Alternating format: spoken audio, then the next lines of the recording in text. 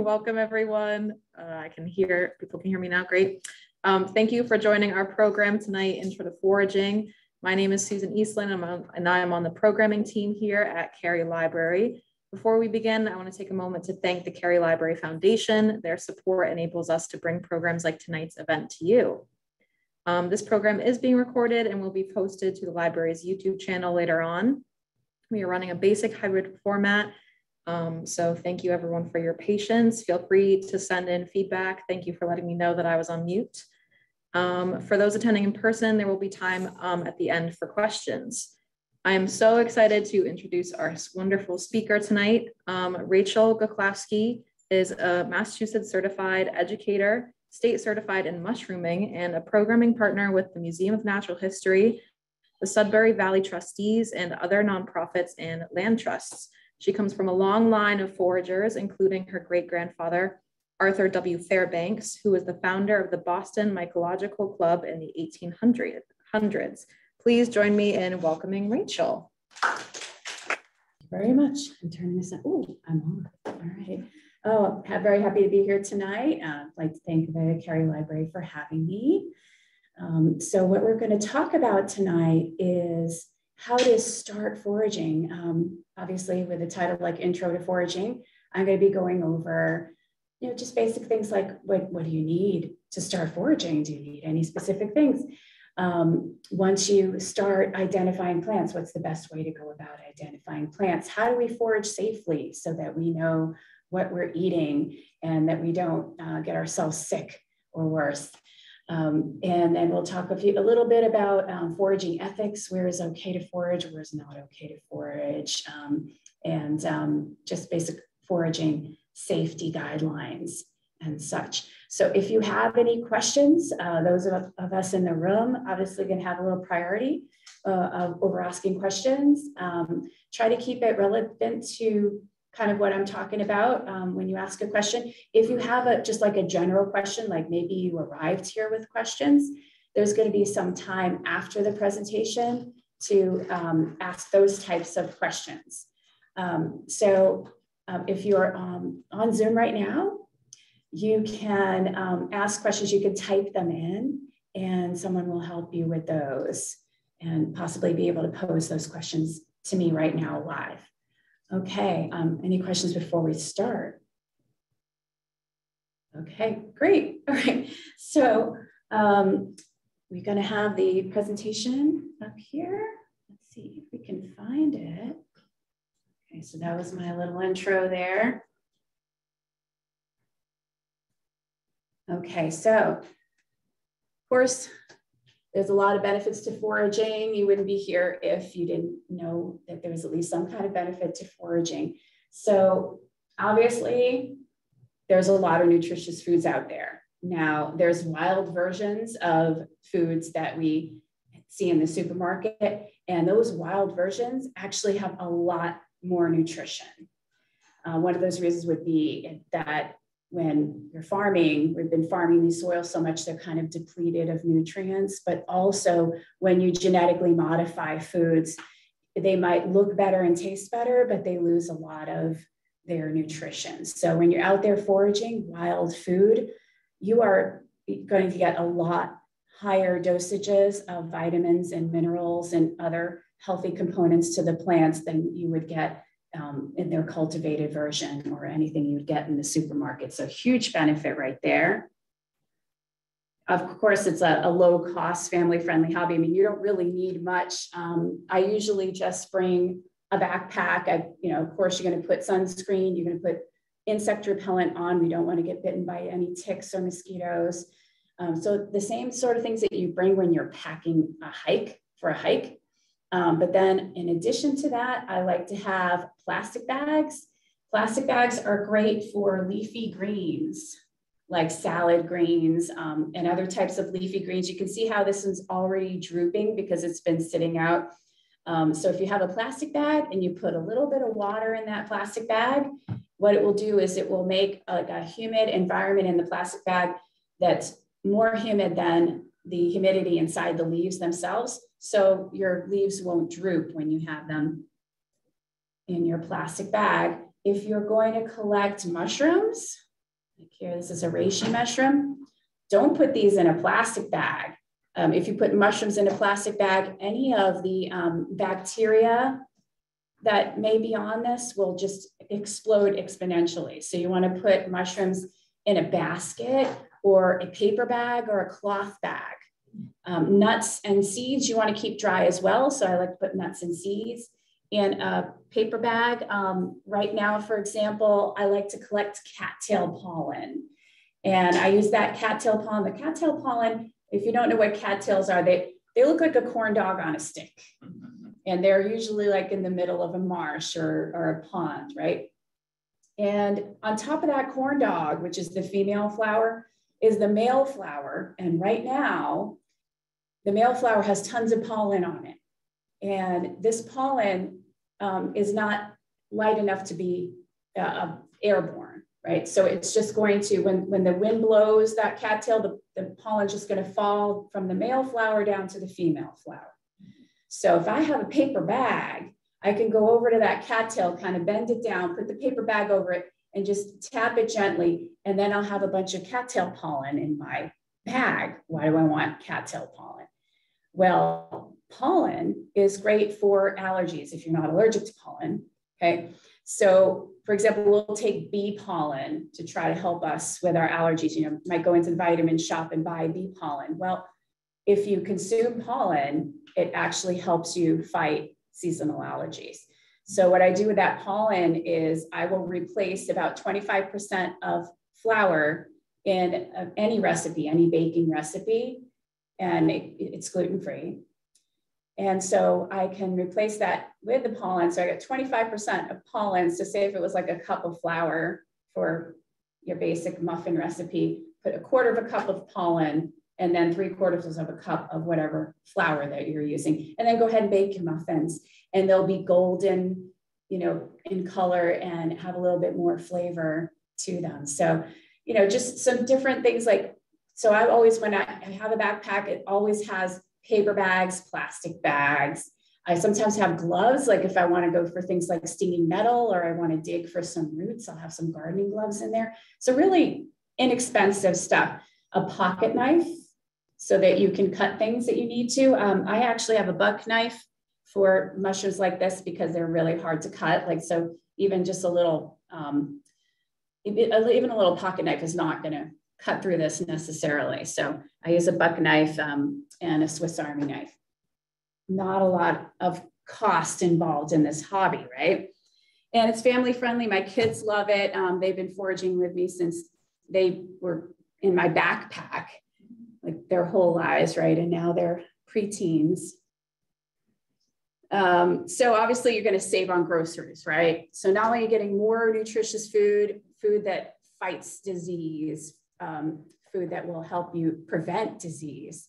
Um, you're going to save a lot of money on groceries because you can replace like a side dish or even a whole meal with foraged food. And sustainable foraging, sustainable foraging meaning we're not going to go out and start collecting tons of wild, um, rare native plants. What I usually collect is just common weeds, even if they're native weeds, um, they're renewable resource. So native weeds, if there's lots and lots of them, um, and they grow every year annually, they're a renewable resource. We can collect them. If they're a native plant that's rare, obviously you're just going to admire that, maybe take some photos, but you're not going to really collect a lot of um, a rare native plant, like say like trilliums and things like that. Even though trilliums are edible, um, we're not starving. We don't need to, to collect those. So if you collect sustainably and you focus on invasive edible plants and renewable native weeds, um, you're going to help the environment out. You're going to help your health. And, um, and especially like if you forage something like these autumn berries or autumn olive, they're extremely invasive very, very plentiful. You can get pounds and pounds and pounds of delicious berries. These are usually um, start ripening around the end of September into October. I like to wait until like mid-October when they're a little riper. Um, I have a whole um, webinar I did on this for the Sudbury Valley trustees. that you can find on my website, which goes from like picking to preparing. And um, it's like um, takes you all through the autumn berry process. And um, so obviously collecting these, since they're highly, highly invasive, is going to help the environment, give more room to native plants if you collect these. And um, they're very, very, very high in lycopene, which is um, uh, those of you that know like um, raw tomatoes have has lycopene. And so we, oh, we want to have lycopene. Well, 17 times higher in lycopene than raw tomatoes. And to me, they taste kind of like a little bit like a cranberry and pomegranate. And then the older, you know, the, the more mature that they get, the more like a pomegranate, less mature, it's like tart like a cranberry. And that's autumn berries. And over here, that flower over there is jewelweed. And I keep picking up this poor, sad looking jewelweed. But you are going to save a lot on over the counter remedies. Like um, the Johnson and Johnson brothers um, who invented the Band-Aid. This is plantain. Plantain is the plant that inspired the Band-Aid. It helps um, clean out and, and um, helps heal cuts and scrapes and burns and things. And I'll talk a little bit more about this plant. But sadly, since they invented the, the Band-Aid and drugstores started to come around, we lost our knowledge of basic first aid plants that, that work way, way better than anything that you would buy in CVS. So for example, this plant here, jewelweed, and when it flowers, it looks like that flower there on this slide. This was what the Native Americans used, and they probably still use, um, for poison ivy. It's incredible for eczema. Once I learned about this plant and started to make salves from this and, and other plants, I didn't have to take my toddlers to the, the uh, dermatologist anymore because they had eczema terrible eczema all around their mouths and um, you know any you know inside their elbows, things like that. And so they had been prescribed a steroid.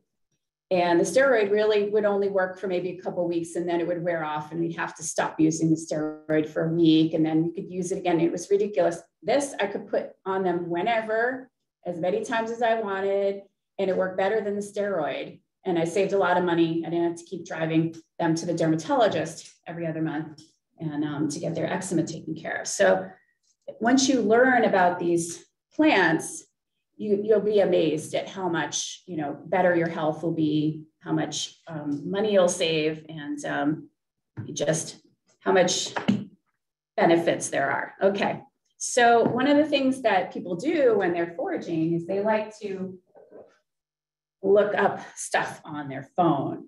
Okay, now these apps are pretty amazing. Um, I've seen them work pretty well, but I've also seen them be wrong. And then I've seen them bring up like three different plants, and you're like, well, which one could this be? So all this is really good for is just kind of point you, maybe point you in the right direction, but never eat a plant based on pulling this up on this app. Okay. This is like a first step, maybe. If you're completely clueless, like you're looking like, I have no idea what this plant is, and you pull you know, the, the app up and it pulls up one or two plants, then go for your foraging guide. Okay. So you're going to see me pushing foraging guides through this. I don't sell any foraging guides, but um, the reason why I keep talking about buying these, and I will keep talking about buying these, or the library, ask your local library um, to, to carry some of these, is because not only are you going to find out whether your app is right by checking scientifically through the key identifiers, and we'll talk about that. You're going to find out more than that. You're going to find out how to prepare this food, what parts of the plants are edible, what parts aren't. Are there any poisonous lookalikes? Super, super important. You don't want to poison yourself, right? And then it will take you through maybe like um, recipe ideas, ways to you know dry and save the plant medicinal purposes things like that. So depending on the guide some of them are good for recipes and some of them aren't. But i recommend um, northeast foraging by leda meredith. And she lives in massachusetts so everything in here i have found everything. And she does cover all that stuff. She covers identifying it whether there's poisonous lookalikes um, ideas, ways to prepare, preserve the plant. it's, um, I wish she wrote another one because, you know, there's only so many plants that she could cover in here. Great photographs. It, it would be great if she did like a volume two, volume three, and like kept covering more and more plants. She doesn't cover any mushrooms in here. Um, another one I like is I like Samuel Thayer. He wrote a couple of books. He's like more Midwest, but most of the plants in here I've been able to find. I've been able to find things like wild rice, which is more like need to be south or, or more west. Um, one of the features I like in this book is there's a section in here that it'll say, oh, cattail. Well, did you know that there's so many different edible parts of cattail? It'll tell you all the different edible parts, when you can forage them. So of course the plant's got to mature, right? So it starts, it starts coming up and it'll say, oh, cattail rhizomes. You can get those in like the wintertime. You can go under the frozen uh, pond and then get the rhizomes and those are edible. And then it will go, okay, now you can get the shoots in the spring and early spring and you can pull the shoots up and you can eat those. And then, so it'll tell you on these charts, the different parts of the plant and uh, when they can be foraged. It may be off by like a week or two, you know, because we've had climate change and we, and this is also not for New England. So it may be off by a week or two, but at least it'll give you an idea of how many different parts are edible in the plant.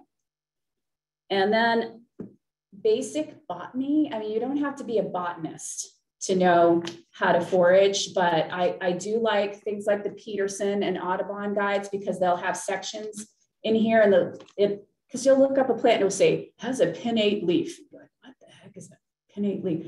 Well, you can look it up, right? Because if if you just pull stuff up on an app, it's not going to tell you how to ID it safely, and you're not going to know if you're right. You're not going to know if the app is right. I mean, um, so you'll go through this, and it will say things like, you know, pinnate leaf. And in here, she does have a section where she talks about different parts of plants, right? So yeah, you can Google a plant but you find that plant, like say you know you can eat cattail, you look it up, you Google it, on that page, it might tell you that that that site might tell you a little bit about how to ID it, but not completely how to ID it. It might tell you like one recipe for one part of the plant, right? But these guides, guidebooks will have a lot more information. That way you're not piecemeal Googling it, trying to find a page that, that gives you the full information on the plant. So that's why I have so many of these guides. And then finally, botany in a day. So it's going to take you a lot more than a day to go through this book. I still pick it up and go to different sections because um, what this does is it teaches you plant families. So you'll see there's families of plants, and each of those plant families has some aspects in common. So you might find like a wild mustard that you've never seen before, and you'll know it's a wild mustard because of the flower. Um, and everything in the mustard family is edible. So there's some plant families that are dangerous and, and we'll talk about that in, in a little bit. Um, but this is, this is really a good resource. You don't have to memorize the stuff in here. You don't have to know a lot of stuff about botany, but what I like about this is that it kind of gives me a sense of, okay, I've never seen this plant before, but I think it's in the raspberry family because it has you know, a segmented berry or whatever. And then when I pull the berry off, it's hollow. Okay, so it'll give you kind of an idea of plant families. You know, and that way you can focus on safer plant families when you start. You can be like, okay, I'm going to stay in these plant families that don't have any poisonous members. And then you kind of move your way through. Okay, so that just kind of laying it, laying the foundation. Any questions so far? We're gonna, yeah. Can you eat uh, Japanese knotweed? Yes. So she asked, can you eat Japanese knotweed? Please eat Japanese knotweed. It is so invasive. It's terrible. It will grow up through pavement. Um, it has gotten so bad in Europe that it's it's growing up through people's house foundations and coming up into their living room. So um, Japanese knotweed, I'll have a photo of it on one of the slides coming up. It's really only edible as a shoot. So think about like rhubarb and bamboo and you know things like things that you eat as a shoot that look similar would be like um, some people think it looks like asparagus Uh, we only eat asparagus as a shoot. It doesn't taste like asparagus. To me, it tastes like when you sweeten it up with like some honey or something, it, it tastes like Jolly Rancher green apple candy to me. It's really, really good. Um, so we only eat that as a shoot in the spring when it's, you know, less than a foot tall. And then if, it, if it's like three feet or shorter, you can juice it and you get like this pink juice and you're to want to sweeten that too. And, and then you'll be drinking like a Jolly Rancher green apple lemonade type tasting thing. It's really good. Okay, so finally, yeah, foraging, great way to just appreciate the natural world. The more you get outside, the better. Um, and you can be, you know, eight, you can be 80. It doesn't matter how old you are. I'm constantly learning. I've been doing this my whole life and I'm still learning new plants all the time. You know, we get plants coming up from the south, you know, more invasive plants. And I'm like, golden spindle, what the heck is this? You know, I'm hiking in the middle of the winter and there's this green, lush looking vine, golden spindle, another invasive plant. So I'm always learning. Okay, so we have seasons for foraging. It's not the same seasons that we think about. Um, instead of, um, you know, winter, spring, summer, fall, we have early spring where you're going to find like Japanese knotweed shoots. You're going to find fiddleheads, um, roots and plants, you know, so that we're talking like March and April, early spring, where you're going to see the shoots of plants. And sometimes only the shoot is edible, like Japanese knotweed, only the shoot is edible, right? Then you get into mid to late spring, which is like what we're in right now, you know, basically summer, right? Um, you can still find some of those late spring plants and have some of them here on the table. And that's where you're getting, there's still some shoots, some later shoots that come up like pokeweed and things like that. Um, other greens, the salad greens are kind of gone by. Um, how many of you ever planted lettuce in your garden? You know, when it starts flowering, how bad it tastes. Like that's what's happening to all the salad greens right now is they're flowering and they get too bitter at that point. But there are still some late, some uh, late spring and into summer salad greens, and I have a couple of them on the table right now. So you can still make salad for yourself all through the summer if you if you know what those salad greens are, and some of them are invasive. And then of course you got summer, where I love it because that's when you have a lot of mushrooms. And I, I do teach intro to mushrooming. And um, I've got one coming up July, uh, July 30th. I'm going to put one up on my Facebook and Instagram. So you'll see that because the Tower Hill one sold out already. So you get seeds and nuts in the summer. And um, so you'd be surprised how many different seeds and nuts there are out there. And like um, right now, some of the seeds that are, are, I don't have any of them right now, but some of the things that are start starting to already mature is dock, like curly dock and bitter dock. Those seeds are already starting to mature and you can use them instead of bran to make like bran muffins because they they're on the dock seeds are on these little um, bracts, these papery bracts, and it's hard to get the seeds off of that. So I don't even bother to get the seeds off, and then I just use it like as bran in my granola and things like that. And of course, berries, we're starting to see some um, strawberries, wild strawberries. I already ate my first wild blueberries yesterday. So, so, so good. Um, and then you get start starting to get the raspberries. There's summer raspberries, um, black raspberries right now. And then in the fall, there'll be some red raspberries. So just, you know, gift that keeps on giving. And then the fall, we have even more mushrooms. And you can start going for things like roots. You can start harvesting roots again, just like in early spring, you could get roots and more berries and more nuts. Like so, so toward the end of the summer, you start getting things like black walnuts and um, hickory nuts and things like that into the fall. And then finally, winter, believe it or not, you can forage some stuff in the winter. You can get crab apples and rose hips and things like that. And I even like those autumn berries after the first hard freeze.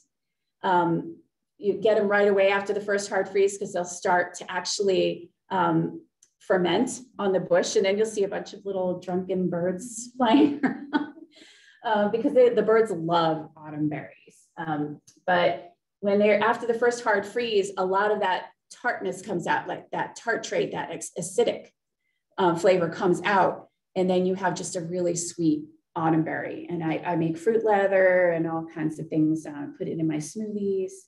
Oh, yeah, and you can get bark. I, I like to harvest hickory bark in the middle of winter because with all the greenery down, you can really see the shagbark hickory trees as you're hiking. You can see them way into the forest and you can just gather the bark and make hickory syrup, things like that. So you don't worry that it's the winter. There's still some things. I get chaga mushrooms, things like that in the winter. So, okay, so how are you going to start out? Um, well, that says some edibles with no poisonous lookalikes. That's what that says. So I like to start safe. When I was a little, little kid, my favorite thing was wood sorrel. It does look like, um, does look like clover, but clover has flowers like this, like little pom-poms, right? But wood sorrel has a yellow flower with petals. And wood sorrel tastes like lemonade. And so you can throw it on your salad. You can make tea with it. It has a lot of vitamin C. And um, it has three leaflets that are perfect hearts. And there's no poisonous lookalikes to it. And then there's sheep sorrel. And the leaves look like little sheep faces with little ears hanging down. And this also tastes like lemonade. And if you've ever had um, French sorrel, um, French cooking with sorrel in it, um, it's like a lemony, um, very refreshing flavor. And so I, I, like to wilt these with a little butter or ghee um, and then put it over rice or put it over pasta. And it's just delicious. You got an instant pasta sauce with a lot of vitamin C. And that's around. Um, oh, okay. So these are wine berries. So anything in the raspberry family is has no poisonous lookalikes. Any bunchberry, really, here in, in North America, once you get out, I mean, in New England, once you get out of New England, you really need to worry about your segmented berries. But here you've got segmented berries. And so you've got raspberries, you've got blackberries, you've got boysenberries, um, many different varieties, loganberries, things like that. Those are all edible and they're all pretty safe to ID here in New England. And wine berries don't have as much flavor as, as raspberries, but they're really delicious and they're really juicy and they're starting to get ripe right now, as well as the raspberries.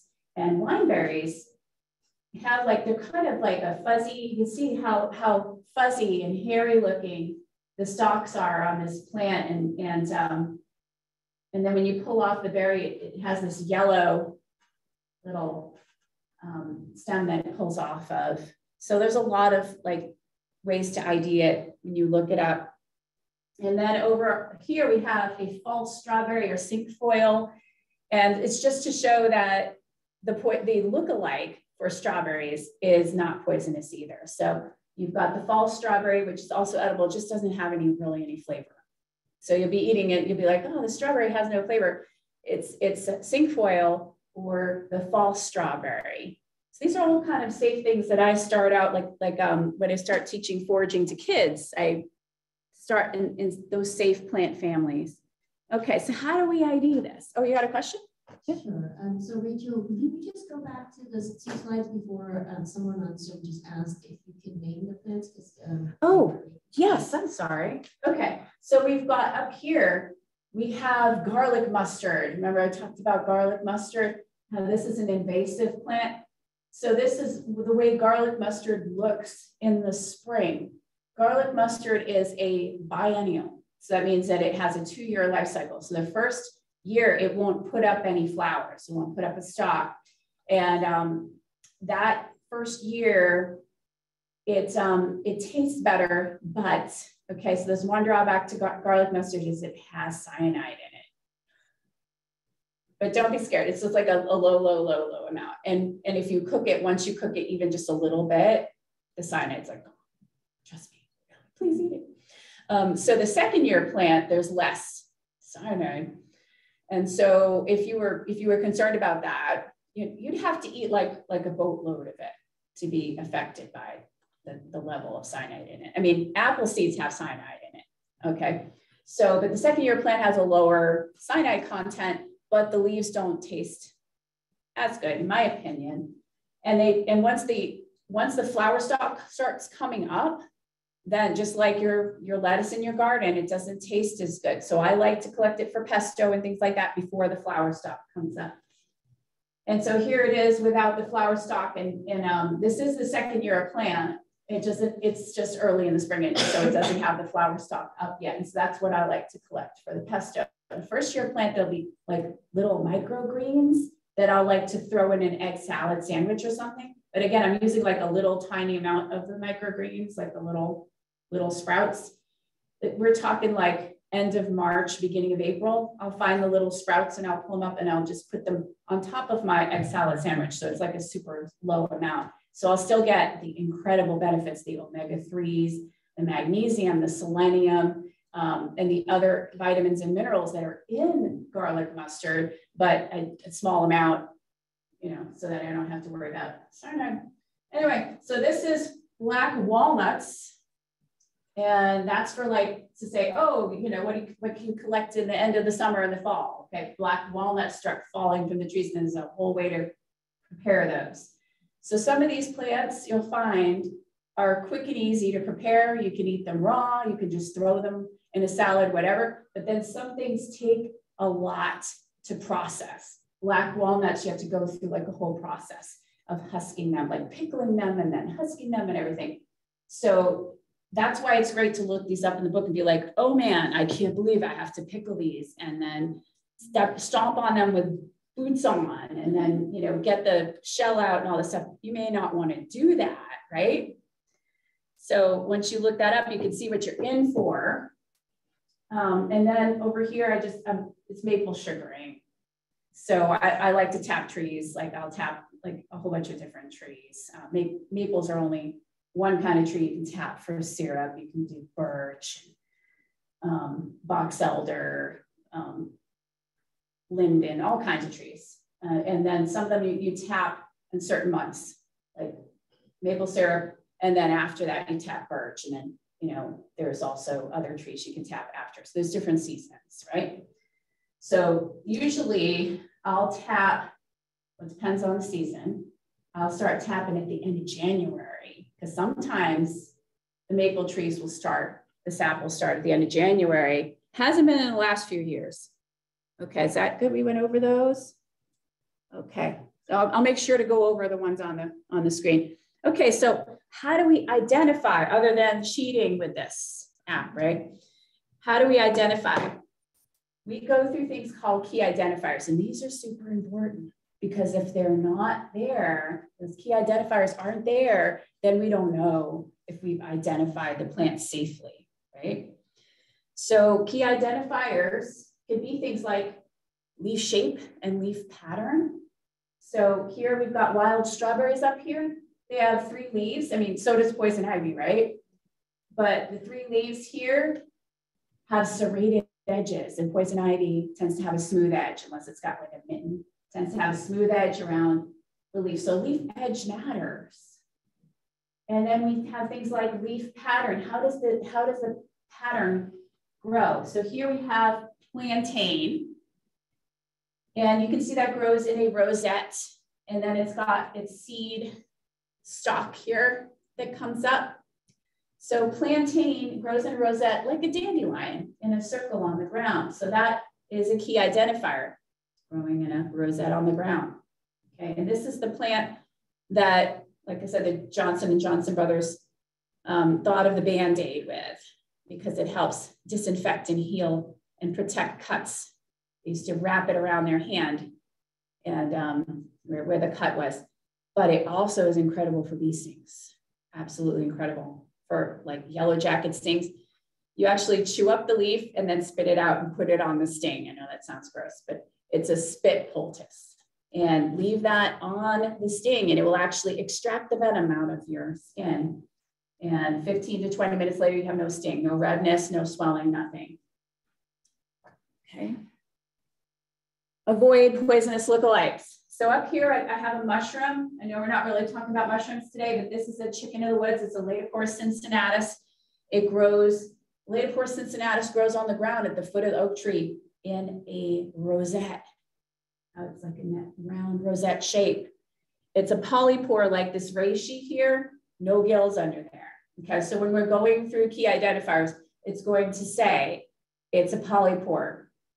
That just means that it's got pores, little holes underneath instead of gills. So if you thought you had a chicken in the woods and then you turned it over and had gills, you don't have a chicken in the woods. You have something else, right? All right. And uh, to avoid poisonous lookalikes, I tell people start with polypores with mushrooms if you want to be safe. If you want to avoid poisonous lookalikes, there's very few, very few um, poisonous polypores here in New England. Almost none. Say that grows? Right at the foot of the oak tree, instead of on the dead or dying oak tree, like um, the Laetiporus um, sulphureus does. That's the one that's yellow underneath. It looks just like that, except it's, it's yellow underneath and it's on the tree, like, like on the wood. And this one grows on the ground because it taps into the roots. That's what it's work it works on is the roots. It's called a butt rot mushroom because it taps into the roots. So it just it looks and tastes like a chicken mushroom, but it's um it's on the ground usually. Of course, I found one in a stump like two feet up this year, but it was still tapping into the roots through the stump. Um, smell can be a key identifier. So we got different key identifiers. We talked about like leaf pattern. We talked about leaf edge.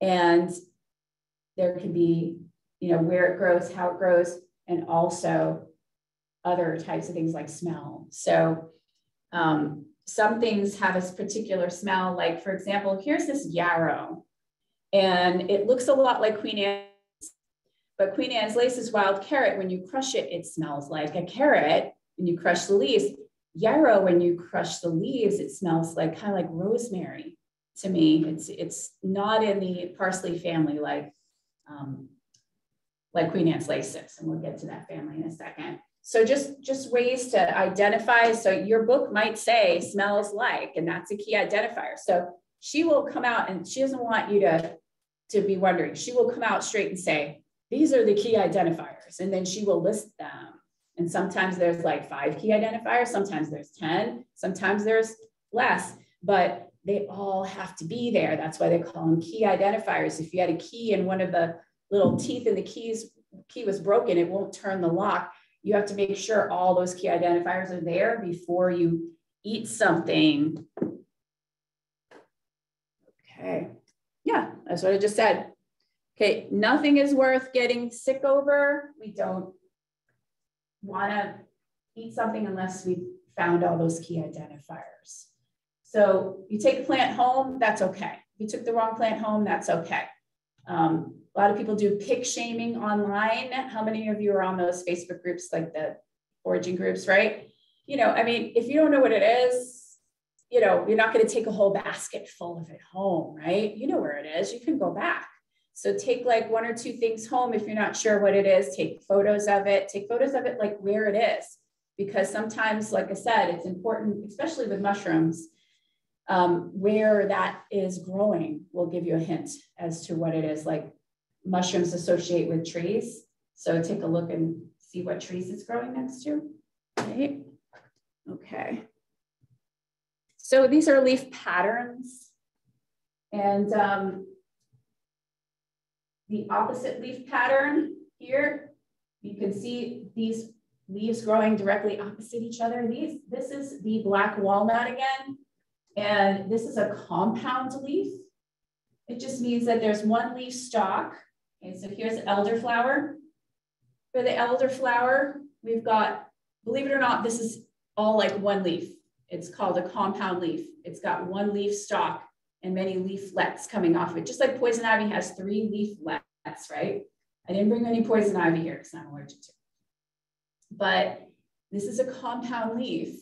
And you can see these are growing, these are growing opposite each other, but then you have a terminal leaflet that's all by itself, right? These things are all, all key identifiers. Alternate. This is Japanese knotweed up here.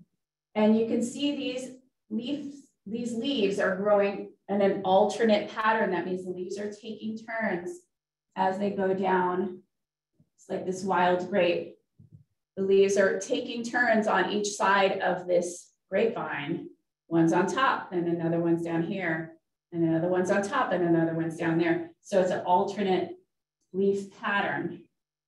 And then finally, we've got the, uh, the rosette we already talked about on the last slide, um, how the plantain was growing in a rosette on the ground like a dandelion. And then we have the whorled pattern, W-H-O-R-L-E-D. That is the least common leaf pattern out there. And that is a, um, the Indian cucumber root, which the only edible part is this little root down there and it's delicious, but it's native. And so I don't like to eat these guys unless I see a whole huge field of them. And even then it's just like a trail nibble. I'll dig up like a couple just to enjoy it. Um, it's like a little trail nibble.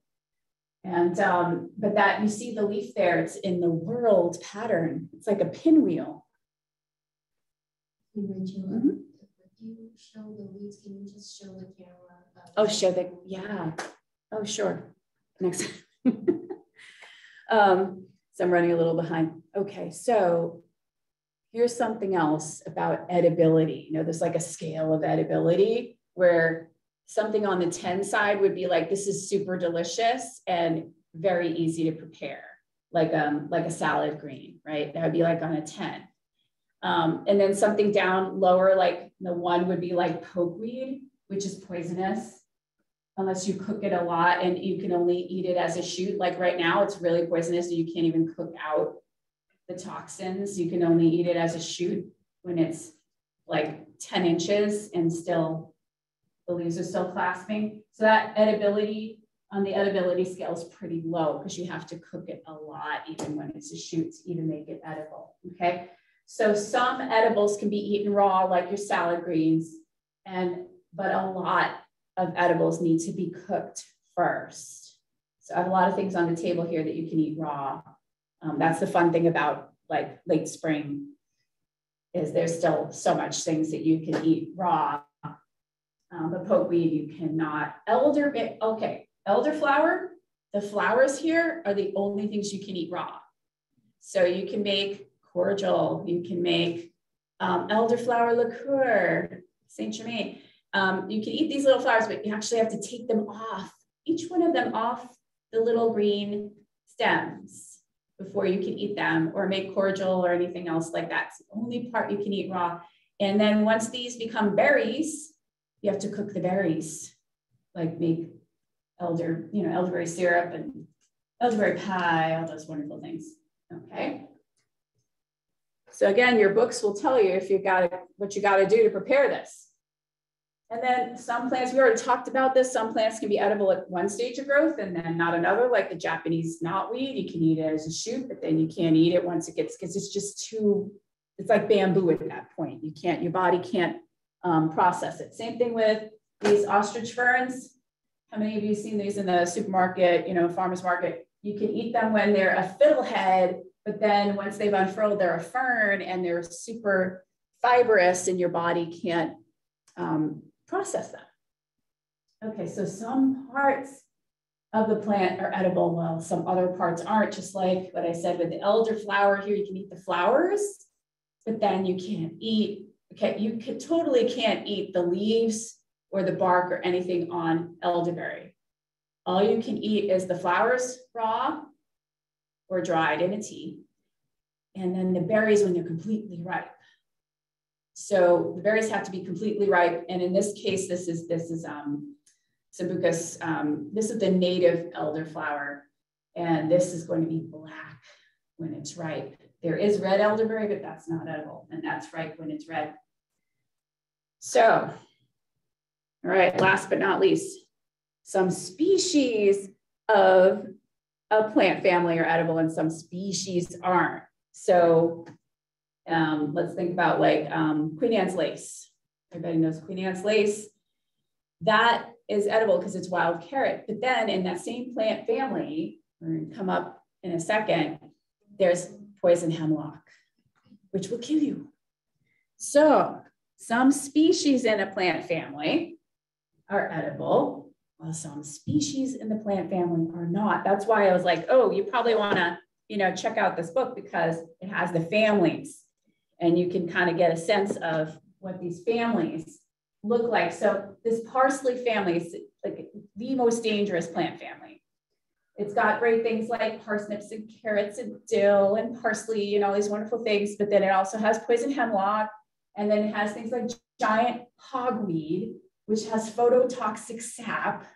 So if you pick this beautiful plant, and by the way, the flower's like this big, and it is not native here, but it's kind of making its way up here to New England. If you pick this plant and you got the sap on you, um, and then your, your skin absorbed it, even if you try to wash it off, your skin absorbed the, the phototoxins from this plant. Then you try to go out in the sun and it's like you're a vampire, it starts to burn, your skin just starts like burn. It's pretty horrible, right? So we want to make sure when you see things like this, especially now when they're flowering, it's really confusing because they all have these pretty white flowers, like pentacles of white flowers, right? And so it's hard to tell the difference. So you have to, that's why those key identifiers are so important. So poison hemlock, for example, looks just like wild carrot, looks just like Queen Anne's lace. So you have to look at things like, oh, Queen Anne has hairy legs. Look at that hairy, hairy stalk on that wild, wild, you know, the Queen Anne's lace flower. Well, poison hemlock doesn't have a hairy stalk, even though the flower looks so similar the poison hemlock stalks are smooth.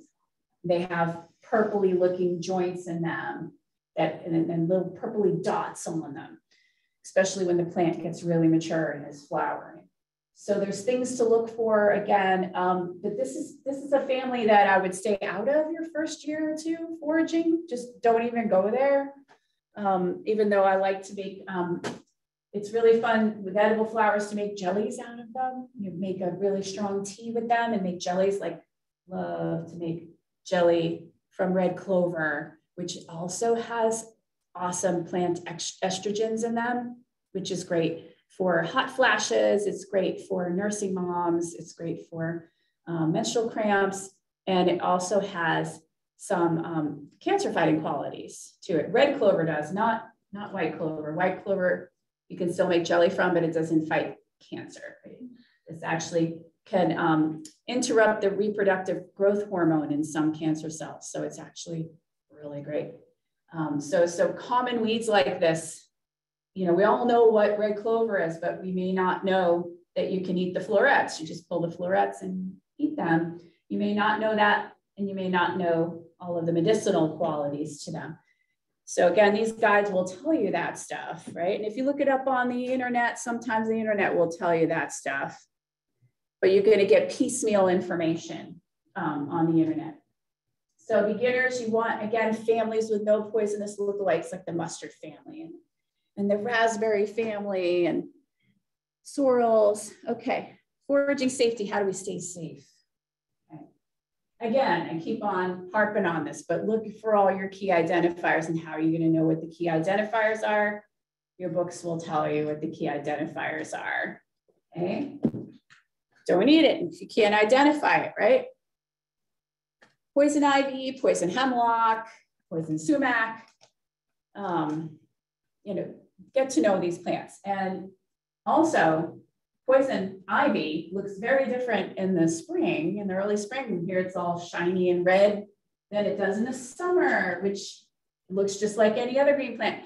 I have seen poison ivy going up trees with hairy vines this thick, and I'll be up there like looking, you know, picking something out of the tree, picking mulberries or whatever, and there'll be poison ivy like right in there, way out on the branch. So look on the look on the um, tree the tree um, trunk. Can I use words? Yes, I use words. Um, and if you see a poison ivy vine going up the tree trunk, well then be careful because I I've seen like I mean leaves this big, poison ivy leaves this big, so you don't even think it's poison ivy um, coming down the branches. And so you know picking stuff out of trees. I'll walk around and poison ivy will like on my head. I'm like, gee, thanks. And then I have to break a jewel weed, oh, which is okay. This is, you know, again, what the indigenous peoples have done for centuries. Break the jewel weed stalk open. And it will have this watery sap inside. It feels like water, but it's the sap. And this neutralizes poison ivy, like on contact. So I'll get excited about a mushroom and then I'll walk through the woods toward the mushroom and notice that I'm standing in poison ivy with like bare ankles. And I will do this because this jewelweed grows right near poison ivy. And then I'll just smear this all over my legs or I'll just put it on my head because I just walked under a poison ivy branch, you know, coming down a branch. So foraging safety, really important. Um, know how to ID these plants. Know how to, you know, so the big thing about poison ivy, I always tell people is yes, it's got the three leaves, but that one leaf in the middle has a weird long little stalk on it. So that you've got two opposite leaves. Like, let me see if I can do this with the cursor. You have these opposite leaves that are, you know, sitting there right opposite each other, but the, the one in the middle, see how that one kind of sticks out because there's a long little stalk on it. And so no matter how big this plant gets or whether it's coming down from the branches of a tree, I can see the vine, I can see the um, veins through the leaf. You can see the veins are really prominent. And I can see that one little stalk coming out. I'm like, whoa. And I just stop and I just, you know, because I'm so allergic. Okay. Now, you can go in your guide, and your guide will tell you things like, oh, lamb's quarters. It's one of the top most nutritious wild plants on the entire planet. It's loaded with nutrients and it's, it's edible, and we'll say edible in the book. But you don't know if you have a food sensitivity to it, right? People develop food sensitivities to all different, you know, all kinds of things. So it's, if it's the first time that you've ever eaten your plant here that you found and you've ID'd safely with all your key identifiers, just eat a small amount, like eat this much and wait eight hours and see how you're doing. Don't eat a whole plate full of the food if it's the first time that you've ever eaten it, because you don't know if you have a, um, a sensitivity or an allergy to it. Uh, another thing that you don't want to do is forage from your neighbor's lawn who gets ChemLawn and you know has pesticides, herbicides, all kinds of things um, on their lawn, you want to make sure that where wherever you're foraging from is, is not, it's chemical free, right? Um, you don't want to be by a busy road. You don't want to forage anything where there's lots of car exhaust going by all the time. The plants are absorbing that. They're cleaning the air, but that they're taking in those toxins too. And then you're eating all of those toxins. So you don't want to do that either. Okay. Yep properly food, cook, cook the foods that need to be cooked. And if you're not sure how to cook it, you can look it up. You can Google it. You can say how to cook, you know, such and such. Because um, your your guide, say if you just bought one guide, it's not going to have every single plant in the world on here. So it's not going to tell you how to prepare it. So you can look up how do I prepare this food. Um, again, another reason why you don't want to eat things in large quantities. We'll go back to the, the lamb's quarters. I'm picking on the lamb's quarters again. is some of these wild plants have components in them that in large quantities aren't going to be good for you. So this lamb's quarters is in the spinach family and spinach has oxalates. So um, if you have kidney stones or you're prone to kidney stones, you probably already know that you should eat a lot of spinach. Well, this is in the spinach family and it has more oxalates than cultivated spinach does. So what you're going to want to do is cook this and eat it in small quantities so you can still benefit from the huge amount of nutrients like iron. It's got like a thousand times more iron than spinach does, for example. Um, so you can still eat this plant, but not in large quantities and make sure you cook it. So you can eat lamb's quarters raw if you don't have to worry about the oxalates but um, some plants that you do have to worry about things like oxalates and saponins and tannins and things like that. If they're in large quantities, you're going to either need to eat a small quantity or cook it or both so that you don't get a lot of that component. Okay, and then last but not least, we've got foraging ethics.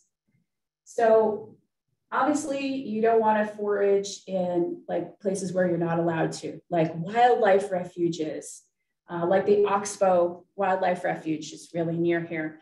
Um, you cannot collect any plants. They don't even want you to collect mushrooms. Same things with, with the um, Audubon Society. They don't want you to even get mushrooms, which are just like, they're like a fruit. Um, try to respect that. Um, if go to the website for some Sudbury Valley trustee lands, don't allow foraging, but then some Sudbury Valley trustee plant um, lands do allow foraging. Go to the websites where wherever you're planning to go. Some conservation lands don't allow it. There's some conservation lands in uh, Waltham, for example. They just don't allow, it says do not disturb any plants. So that means don't forage, right? So stick to areas where you're allowed to. You don't want to give foraging a bad name. You don't want to end up like Rhode Island where they don't allow foraging in any of the um, state parks and it's a real bummer. So try to, um, you know, respect that. Yep, and we're going to fo focus on mostly like invasive plants like this lady's thumb here and um, the Asiatic dayflower. Um, plants that aren't native that have invaded our environment, we want to eat as many of them as possible, as long as they're edible, right? And renewable native edibles that are abundant, right? Then you want to worry about, am I spreading seed? So like um, garlic mustard, for example, if you wait too long to harvest the garlic mustard, they have these seed pods and each of these little seed pods has hundreds of tiny little black round seeds. And when you're collecting them, you could spread the seeds. So in some states, it's illegal to collect native plants that are, that are seeding out because you're gonna spread them all over the place, right? So be careful of that. When I, when I get my autumn berries, I don't spread any of the wild seeds. Like I'll, I'll take all the autumn berries and I have them in a bucket and then I will cook them. So even the ones that were rotten that I, that I picked out, I make sure that I microwave those, then I'll throw them in the compost or I'll give them to my chickens. They love them. But I make sure they're all cooked because if my chickens ate the raw seeds, then they're going to poop it out and it's like fertilizer. And then I'm going to have autumn berry bushes all over my yard, which I don't want, right? Um, so leave some foraging for wildlife here. I was looking for some mushrooms and this little baby fawn was there sleeping. I know it's a terrible picture. I'm not a good wildlife photographer, um, but she, her little eye open there. Um, she's just laying there and I, I, I was mushrooming. I didn't even know she was there and she's sleeping away. I, I woke her up when I'm trying to take a stupid picture, right? So leave your, leave some for wildlife. If, if it's a native plant, um, they're going to eat it. Deer will browse the native plants and then, and then the invasive plants, they'll just leave. Like they don't like garlic mustard. So they'll eat like all around the garlic mustard and that will give more room for the garlic mustard. So we're trying to help out, you know, by taking some of these invasive plants out, leave more of the native plants for our, our native wildlife. Okay, we have a responsibility to keep that, that harvest going.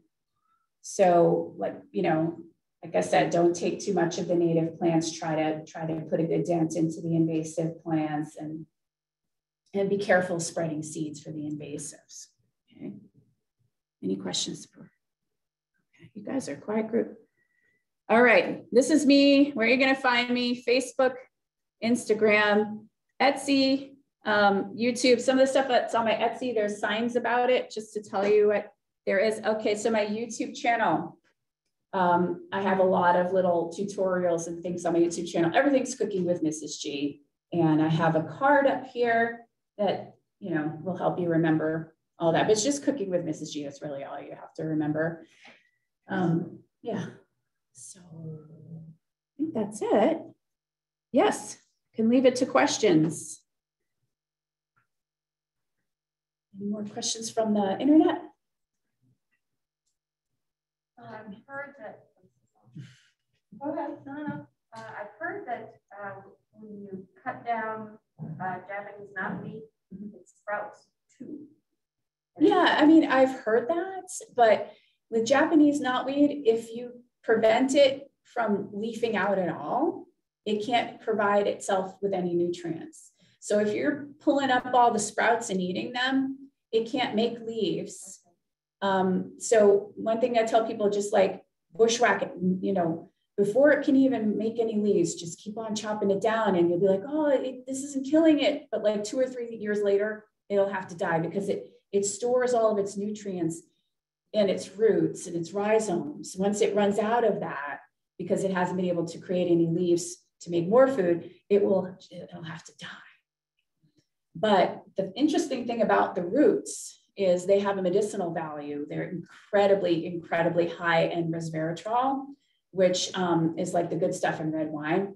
And it will help people with Lyme disease symptoms, uh, tick-borne Ill illnesses. And so I make tincture from that. Um, and a lot of people have taken that said it helps them with, with those symptoms. Any questions? I have one small question about the clover. Yeah. Um, how much clover do you actually need to make jelly? Oh, good question. So what I do with that to make jelly is I actually just take the flower itself because everything else is kind of bitter. And so you can keep this for tea and you have just a little pom-pom flower and I will fill up depending on how much tea I want to make or how big of a batch I want to make. Um, you'll fill up a measuring cup. Like say you, say you have a two cup measuring cup, you can lightly pack flowers and fill the two cup measuring cup. And then you um, boil water and then two cups of boiling water. So it's like a one to one ratio.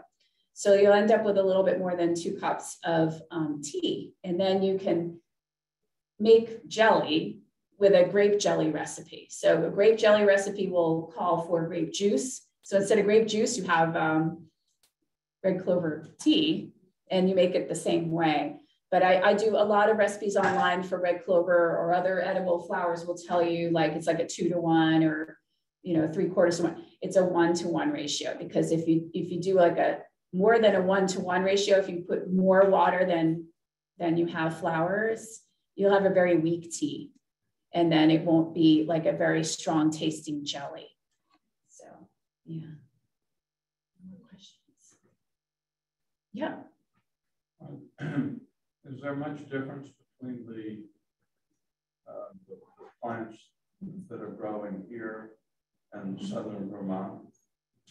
Southern Vermont will have very similar um, plants, but then you're going to see some other sort of like upland wildflowers. They're going to have some other species of things. And then some of our plants that really need a little bit more heat, you might not see that much of. So it's really interesting, like when you go, you know, to different parts of the country, because you're going to see a lot of the same plants, but then you're going to see a lot of different plants. And so that's why it's important. Like this one says Northeast foraging. You want to want to have a Northeast guide. Even this Peterson guide, um, it says um, Eastern North America. So when you're getting your guides, make sure they're for our area because you know there's there's just some plants that that grow here that don't grow other places and vice versa. Yeah, good question. Um, oh yeah. I have a um, simple question. As you mentioned, uh, in New England, all the berries are eatable, right? Um, just the segmented berries like raspberries and blackberries. Oh. Yeah, so like things like poison ivy berries, mm -hmm. we don't want to eat. Um, you know, there's there's a lot of berries that aren't pokeweed berries. Pokeweed berries, uh-huh. poisonous, right? Um, some people use them for dye, like that's a nice purple dye. But yeah, the only um, rule of thumb with berries really mm-hmm. is the segmented berries like raspberries and blackberries. Um, those are safe. But then all other berries, you, you know, you should really be IDing things, keying it out anyway, like doing all the key identifiers. But um, the raspberry family is very safe and, and blackberries as well. So um, this, yeah, like loganberry, ling, yeah, lingonberry, um, blackberry, um, boysenberry, uh, wineberry. There's anything in that family is safe. Yeah, thanks. I'm glad you asked that because I don't want to be unclear. So here's another invasive flower and it's blooming right now. Very delicious. This is my favorite edible flower. This tastes like the sweetest lettuce you've ever had. And then when you pop this off, you can suck the nectar out and it's like, it's unbelievable. So some people will make um, jelly from these flowers. And it, so this is um, a day lily, meaning it, it only blooms for a day. When it wilts, you can take the wilted flowers and rehydrate them in soups and stews. these little buds are like lightly oniony flavored and just like a sweet onion. They're delicious. You can put them in a stir fry. And um, I like to just cook them up with mushrooms because they have like a little bit of an oniony flavor. And then the, um, the roots, they, they're kind of like a sweet, they look like a sweet potato, but you can eat those. They're like little, little mini sweet potatoes and you can eat the, the shoots when they come up in the spring, as long as you know what flower it is, right? Okay, so this daylily has, okay, key identifiers for this, because there's other lilies like Easter lily, not edible, right? Um, tiger lilies, not edible. You want the daylily, the, the Asian day lily that has no leaves on the stalk. The stalk is just bare all the way down. Um, and then other key identifiers in here is that these are the only real petals. These, these three on the inside. These three on the outside are actually tepals. They're like a modified sepal. And they taste the same. They're just a little fleshier. So you can see like the, the real petals are like thinner. And then the, the um, tepals are like thicker and fleshier. And you can eat them too. And then the, the um, inside here, the stamens and the pistils and stuff are kind of spicy. I don't really like to eat those. So I'll just kind of leave those, but um, just make sure that it's the, the common Asian daylily. It's an orange daylily and it has no flowers on its stalk. It's just bare. Um, so that I just wanted to point out because they're everywhere right now. They're blooming right now. So is that the only uh, type of lily with, uh, is that the only type of lily eatable? Um, I, that's the only one I eat of daylilies. Yeah, I know there's a lot of other cultivated day. Um, and some people will eat the, there's like um, yellow ones. There's yellow ones that also have a bare stalk. Um, but since there's so many different cultivated varieties and no one's really researched to see which ones are edible or not, I just stick to those. But they're so common. They're like everywhere now. Um, and they're kind of invasive. They are invasive. Um, they spread underground with those rhizomes. And so once you like plant one in your yard, I don't know if anybody's experienced this, but like you plant like one or two in your yard and then you've got like 50, um, they just kind of spread underground. And so if you don't like them spreading underground, then in the fall, when they die back, dig up those little rhizomes. They're like potatoes and, and eat them, you know, that way, you know, eats your invasives. Um, can you recommend any local foraging places for a beginner? Oh, to like go and forage? Yeah. Oh, okay. So again, Sudbury Valley Trustees, I'm one of their programmers. Um, some of their places will let you forage and some of them won't. So go on their website. Uh, I like Stearns Farm in Framingham. Um, they have, they're like an organic farm and some of their fields, they'll lay fallow and the fallow fields will have awesome things like amaranth, wild amaranth, which is extremely nutritious and it'll have lamb's quarters and all kinds of purslane. Purslane is really, really good for you. Another invasive plant, and it seems to take over at farms. Um, so there's a lot of look like um, contact apple orchards and things. Um, Stow Farm, it, um, no Carver Hill and Stow. I used to forage there. Um, I know they changed hands. Um, I think it belongs to Stow now, the, the town of Stow, but they had tons of purslane. And so I used to go, they didn't mind if I foraged there. Um, so where, where the, the weeds have taken over, um, like in their edges of their fields and things like that, they actually liked us coming in and taking that because it's such an invasive plant. It was like encroaching on their fields, their raspberries and things like that. So make friends with local small farms and um, conservation lands around here. Um, there's a lot of conservation lands around here, and most of them um, don't have anything on their website that says don't don't forage. Um, DCR lands um, and things like that. I always check the websites first. And another nice thing about checking the website is it might tell you what kinds of trees or what to expect, or they'll have trail maps and you'll see where the wetlands are and you'll see if there's a pond and things like that. Like, like if you're looking for elderberry, they like ponds. So, um, you know, whatever you're looking for, if, if it needs a certain tree or it needs a certain environment, you can you can check that on these websites and see. But there's so many places uh, around here uh, to hike, and they and they there's nothing saying that you can't collect. You know, of course, if there's a sign, if you get there and there's a sign, it's kind of a bummer. But um, you know, I, I usually they'll post it on their website and they'll say, "Do not disturb plants," stuff like that, if they don't allow it. Do they have guiding tours anywhere for beginners who want to learn how to forage but can't identify? Um, I do. I lead it, but um, yeah, there's there. Up until recently, there was not a lot of people. There was just like me and Russ Cohen with um, Sudbury Valley trustees, and Russ Cohen does lead tours. I, I don't know how to find out. He usually does it through Sudbury Valley trustees.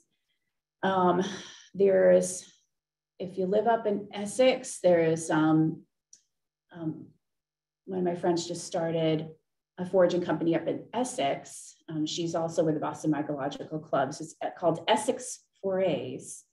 And then I have a friend, um, Christine up, Christine Gagnon. She's up in New Hampshire and she uh, started Ukanook foraging company. She mostly does mushrooms, but she's up in, in New Hampshire. Um, but yeah, not like I'm kind of it here. um, but you know, more and more people are starting to lead tours. Um, but be careful because I've had some people come to my classes and and they've just gotten people like to to show them mushrooms and they're not really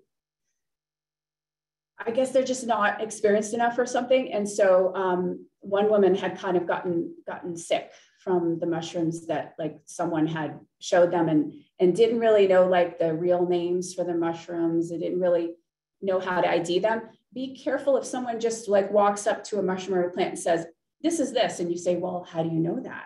And they can't list the key identifiers. Um, they just say, I know it because it looks like it. I mean, you know, um, my grandparents and relatives did that. You know, my grandmother didn't do it. My grandmother taught me. She would tell me, this is why this is this flower. And she would point out key identifiers. Um, and that's how I grew up was with my grandmother. But you know, sometimes I'd be with like um, you know, a neighbor or or someone um, who knew what these things were, but couldn't tell you why. You really need to know why, um, because this is this app will do that for you now. It'll say, oh, this is this, but it won't tell you why. So you're not sure what you have. You, you have to go through those key identifiers. So you want to make sure that the person who's leading you around is, is knowledgeable. Um, and mm-hmm. then we had a question about foraging for mulberries. Can you eat white ones? How long did they mm-hmm. last if were refrigerated? Can you make jelly with them? Oh, yes, yes, yes. Uh, so there's different varieties of mulberries, right? Um, I grew up on Long Island and um, there were black mulberries there, like the dark ones. And there were also the white varieties. There was a white variety in my yard. This is an example of like when I had a neighbor tell me what it was, but couldn't tell me why. So I'm like seven years old, climbing this tree, and the white mulberries. Okay, all mulberries are kind of like greenish or white when they're not ripe, but these were soft and ripe, and you could smell them. It's like this sweet, cloying smell, and they start drop into the ground and rotting, and you could just smell them everywhere. So I'm like, I'm up in this tree, and there's these nice soft berries, and I'm wondering if I can eat them. And my neighbor was out, and I was like, I was like, can you eat these berries? And he's like, oh yeah, they're mulberries. But he didn't tell me why or how you ID them or anything. So I just started eating the berries. I was like seven years old, started eating berries. Um, and then I went down to the park and I saw what looked like mulberries, but they were like really dark purple and they had red juice when I squished them. And I'm like, can I eat these too? But me being like seven years old, I ate them and they were delicious. And I liked them better than the white ones that were in my yard because the white ones, when they get too really ripe, they're just too sweet. You know, it's just a matter of taste. Some people like the white ones more, some people like the, the black ones more. Um, but I like to like I don't like to leave the little woody stem. I'll like pick everything off the berry except for the berry. And then I'll throw them in muffins and you can make jellies with them just like you would, you know, like a grape jelly um, or raspberry jam, things like that. Um, and I tried drying them once to like, so like had like a raisin. no. So I have a dehydrator and I like to like dehydrate, but um, that was not a good raisin. I wouldn't recommend drying them, but yeah, like you make jellies and jams and um, my favorite thing is to just like throw them in instead of like a blueberry muffin recipe, but instead of blueberries, I just throw them in there. Really, really good. I love them. Yeah. Um, someone says, I read that golden seal berries are the only toxic aggregate berry in the Northeast. Does the plant itself have thorns like with raspberries? That's really rare to find, golden seal. So I don't know, it doesn't have thorns that I know of. So. I think that was it for the online questions. Um, I'm going to wrap up the online portion. I know there were a lot of questions about just the recommendations that you had. Mm-hmm. Um, but so in our recap email, I can include the books that Rachel has has suggested, um, all of Rachel's um, social media platforms and her website. Um, I'll include uh, her friends' companies that she suggested and such. Um, so yeah, be sure to keep an email, an eye out for that email. Thank you everyone so much for joining in um, and have a good night.